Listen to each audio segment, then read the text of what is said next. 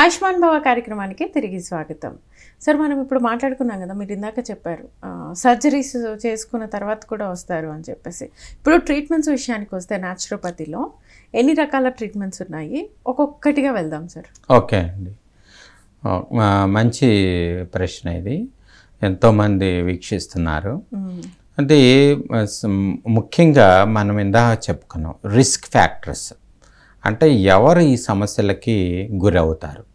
ఎవరు ఎక్కువగా గురి అవుతారో ఎవరికైతే ఎక్సర్సైజ్ లేదో ఎవరైతే బరువు ఎక్కువ ఉన్నారో ఎవరైతే వాళ్ళ శరీరంలో రకరకాల సమస్యలతో బాధపడుతున్నారో లేకపోతే ఎవరికైనా షుగర్ వ్యాధి ఉందో వీళ్ళందరూ ఏం చేయాలంటే ప్రతిరోజు యోగా ఎక్సర్సైజ్ మర్దన చికిత్సలు అంటే నడుము నొప్పి రాకముందు నుంచే వాళ్ళు ఈ చికిత్సా పద్ధతులు తీసుకోవాలి. ఇది ప్రైమరీ.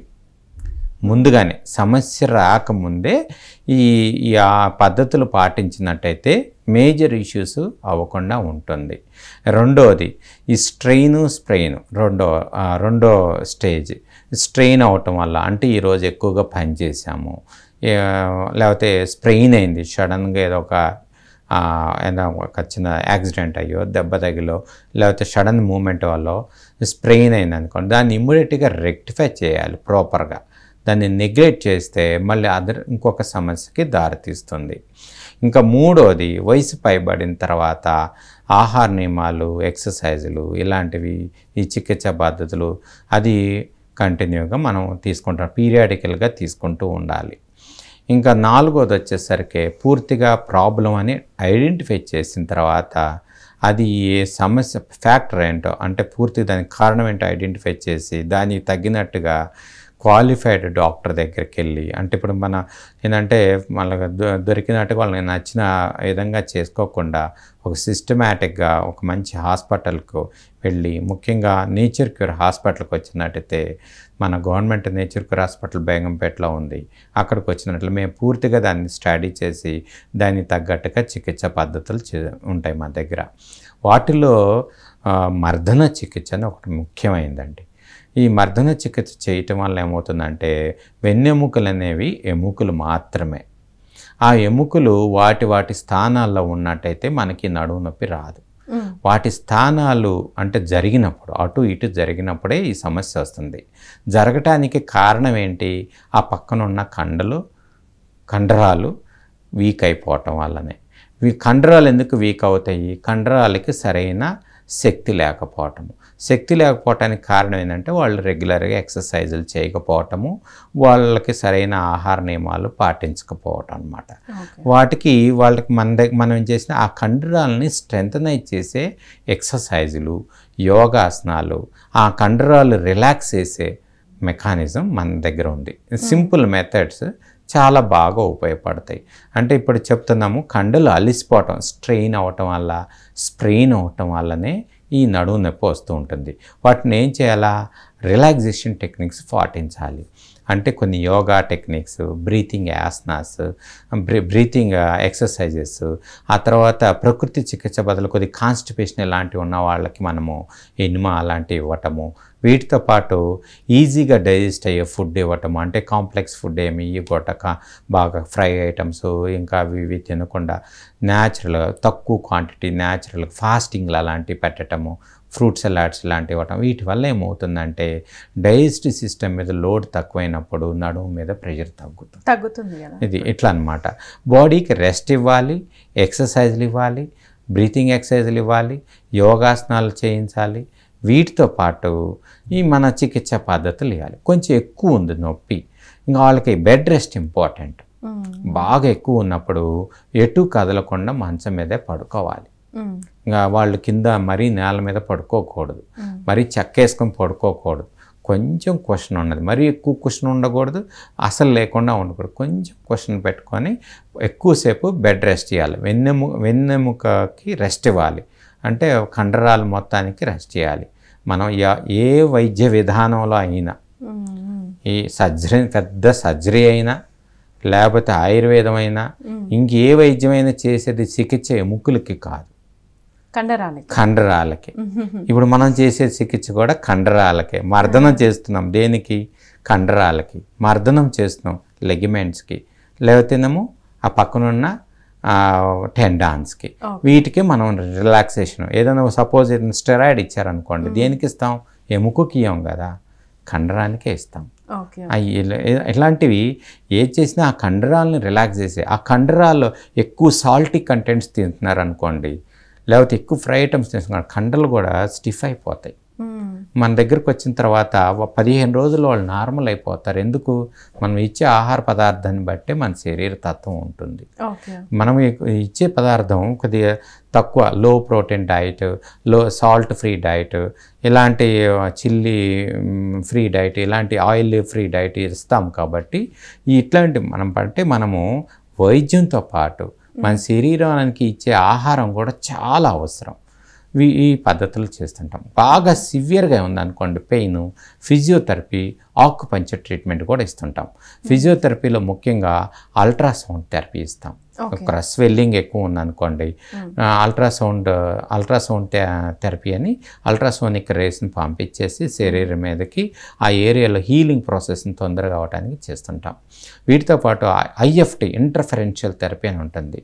అది ఇవ్వటం వల్ల కూడా తొందరగా ఈ నొప్పి తగ్గి హీలింగ్ ప్రాసెస్ పెరుగుతుంది. దీంతో పాటు ఎన్- ఇందాక చెప్పాను కదా ట్రాన్స్క్యూటేనియస్ నర్వ్ స్టిమ్యులేషన్స్ ఇది ఇస్తాము. దీంతో పాటు నాన్ లూమినస్ ఇన్ఫ్రారెడ్ రేస్ ఇస్తాం. నాన్ లూమినస్ ఇన్ఫ్రారెడ్ రేస్ ఇవ్వటం వల్ల హీట్ ప్రొడ్యూస్ అయిపోయి ఆ ఏరియాలో మజిల్ తొందరగా రిలాక్స్ అయిపోయి ఇది కరెక్షన్ చేస్తుంది. వీటితో పాటు ఇంకా చెప్పేది ఏంటంటే మన మన ప్రకృతి చికిత్స పద్ధతుల్లో మడ్ ట్రీట్మెంట్ బాగా ఉపయోగపడుతుంది. మడ్డుని ఏం చేస్తామంటే నడుముకి చల్లటి మడ్ అప్లై చేస్తాం. అప్లై చేసి వీటితో పాటు మర్దన చికిత్సలో కూడా మర్దన చేసిన తర్వాత ఈ ఎండలో ఉంచుతాం కొంచెం సేపు. ఆ దానివల్ల ఏమవుతుందంటే అంటే దానివల్ల ఏమవుతుంది? తొందరగా అది టెంపరేచర్ రేజ్ అయిపోయి అక్కడున్న మజిల్స్ కొద్దిగా రిలాక్స్ అవుతూ ఉంటాయి. ఎక్కువగా ఈ వింటర్ సీజన్లో నడుము నొప్పులు ఎక్కువగా వస్తుంటాయి అందరికీ. మజిల్స్ పట్టేయటం? వల్ల. వీటితో పాటు వీటితో పాటు మనము క్రోమోథెరపీ అని ఒకటి ఉంటుంది. అంటే మనము ఈ నడుము నొప్పులు ఉన్న వాళ్ళకి రెడ్ కలర్ బాటిల్లో నువ్వుల నూనె పోసి మనము ఎండలో పెట్టి ఆ ఆయిల్ని ఛార్జ్ చేసి ఆ ఆయిల్తో మనం మర్దం చేసినట్లయితే నడుము నొప్పి ఎట్టే తగ్గిపోతుంది. వీటితో పాటు మనం తీసుకునే బాత్స్ ఉంటాయి చూసారా? స్నానం చేసేదానికి. ఆ చేసే దాంట్లో వావిలాకు లేకపోతే యూక్లిప్టస్ ఆయిల్ ఇలాంటి వేసి మనము వేడి నీళ్ళు బాగా విక్లఫ్ట్ లీవ్స్ ఎన్ని వేసి మనము ఉడకబెట్టేసి ఆ నీళ్ళతో స్నానం చేసినట్లయితే మన ఒంట్లో ఉన్న కండలన్నీ కొంచెం రిలాక్స్ అవుతాయి అన్నమాట. వీటితో పాటు ఆయుర్వేదిక్ ఆయిల్స్ కొన్ని ఉన్నాయి కొద్దిగా. మహానారాయణ మహామాష బలా తైలాలు ఇలాంటివి ఇచ్చినట్లయితే కూడా శరీరానికి ప్రతి కండరం కూడా రిలాక్స్ అవుతుంది. అంటే మానసిక ఒత్తిడి ఉన్నా కానీ నా శరీరంలో ఉన్న ప్రతి కండరము స్టిఫ్ అయిపోతూ ఉంటుంది. మానసికంగా రిలాక్స్ ఉంచాలి శారీరకంగా రిలాక్స్ ఉంచాలి. వీటితో పాటు మనం ఇచ్చే ఆహారం కూడా ఈజీ డైజెస్టబుల్ అంటే మనం మన ఇందాక చెప్పాం కదా salt free oil free chilli free diet ఇస్తుంటాము. ఇవి ఈ ఇలాంటి అంటే వాతం లేని పదార్థాలు ఎక్కువగా ఇవ్వటం వల్ల కూడా ఈ ఎన్నెముక సమస్యల నుంచి చాలా వరకు ముక్తి ఉంటుంది. మీరు ఎవరైనా ఇలాంటి సమస్య బాధపడినట్టయితే Begumpet nature cure hospital government nature cure హాస్పిటల్లో ఇలాంటివి పూర్తిగా మేము చాలా నిష్ఠాతులైన డాక్టర్స్ ఉన్నారు. మీకు అక్కడ చాలా చక్కగా మీకు సరిపడగా వైద్యం చేయడం జరిగింది. సో చాలా మంది ఫస్ట్ ఆలోచించేది అదే కదా సార్ పెయిన్ తగ్గిపోవాలి. ఫస్ట్ పెయిన్ తగ్గిన తర్వాత ఈ ట్రీట్మెంట్స్ అన్ని తీసుకుంటాం ఎన్ని డేస్ ఉండాలి సార్ మీ దగ్గర? ఒకవేళ వస్తే అవుట్ పేషెంట్గా అయినా ఈ ట్రీట్మెంట్స్ తీసుకోవచ్చా? లేకపోతే ఇన్ పేషెంట్ ఉండాలా? ఓకే మీరు మంచి ప్రశ్న అడిగారు. సమస్యను బట్టి డ్యూరేషన్ అండి. నా- మామూలుగా అయితే ఒక త్రీ డేస్లో నార్మల్ బ్యాక్ పెయిన్ తక్కువైపోతుంది. అది పెద్ద సమస్యే కాదు.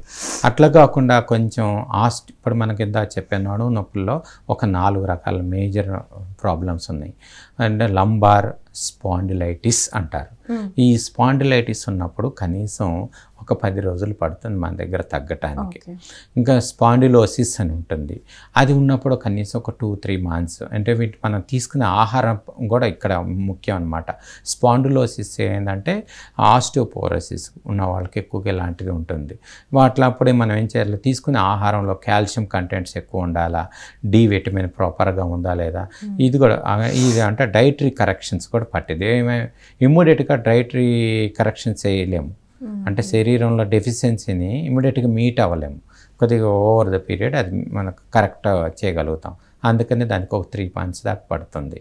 అలా కాకుండా ఆస్ట్రి ఇప్పుడు స్పాండిలో లిస్థిసిస్ ఉంటుంది. లిస్థిసిస్ అంటే వెన్నెముకలు ఒకదాని మీద ఒకటి అలా ఉంటాయి కదా ఒక్కొక్క ఎన్నెముక ముందుకో వెనక్కో పూర్తిగా జరిగిపోతుంది. అలా జరిగిపోయినప్పుడు దానికి మాత్రం సర్జరీతోనే కరెక్షన్ చేయగలుగుతాం. ఇవి కాకుండా కొంతమందికి ఆ, కొ- కొంతమందికి అంటే ఈ వెన్నెముకకి వెన్నెముకకి మధ్యలో మెత్తటి కుషన్ ఒకటి ఉంటుంది దాన్ని ఇంట్రావర్టబుల్ డిస్క్ అంటారు. ఆ డిస్క్ అటు ఇటు జరిగిపోతుంది. అలా జరిగినప్పుడు అది ఒక పది రోజుల్లో పదిహేను రోజుల్లో మనము పూర్తిగా సెట్ సెట్ చేసుకోవచ్చు. కొంచెం బెడ్ రెస్ట్ ఎక్కువ అవసరం ఉంటుంది. ఒక టూ వీక్స్. ఆ తర్వాత ఈ ట్రీట్మెంట్స్. ట్రీట్మెంట్ ఇవ్వాలి బెడ్ రెస్ట్ ఇవ్వాలి. అంటే ఫిజికల్ యాక్టివిటీ ఉండకుండా చూడాలి దీనికి. ఇలా అంటే కండిషన్ బట్టి మనం సెగ్రిగేట్ చేసుకోవచ్చు కేసెస్ని. దాదాపు అన్ని సమస్యల్లో ఆ స్పాండిలో లిస్థిసిస్ తప్ప లేకపోతే స్పైనల్ ఇన్ఫెక్షన్స్ తప్ప మిగిలిన అన్ని సమస్యల్లో మన ఈ చికిత్స పద్ధతులతో పూర్తిగా మనం నయం చేసుకోవడానికి అవకాశం ఉంది. Okay sir.